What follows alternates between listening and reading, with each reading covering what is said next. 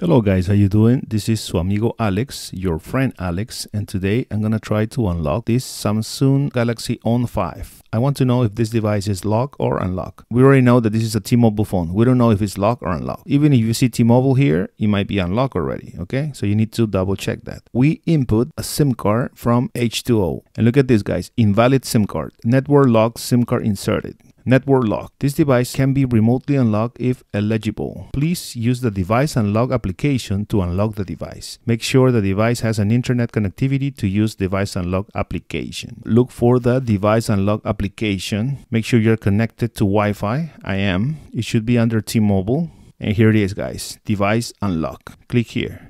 Allow device unlock to make and manage phone calls? Allow. Your device is network locked at this time, which prevents it from operating with other compatible wireless networks. To inquire about your device unlock eligibility, please continue. I'm going to click continue. Connecting to server, please wait. Now you have two options, the permanent unlock or the temporary unlock. Now what is the difference? Select this option if you intend to travel internationally and use another local carrier GSM service. And the permanent one is select this option if you would like to permanently request that your device be unlocked. So we're gonna click this one, permanent unlock. Requesting for a permanent unlock, please wait.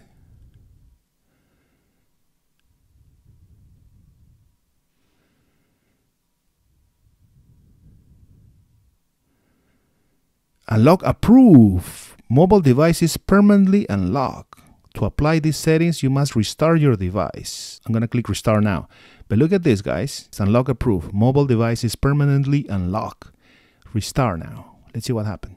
Remember that before, when we turn on the device, we got a message, right, saying invalid SIM card. Let's see what it says now. Samsung Galaxy On 5. It's trying to search and no network connection. That's because I don't have service with that SIM card. But we don't get that message anymore. So that means that now the device is unlocked. Just to confirm, let's see if they are reading the SIM card and if it's reading the network, right? Mobile networks. You can see it's network mode LTE network operators. Oh, we missed that. It says device permanently unlocked.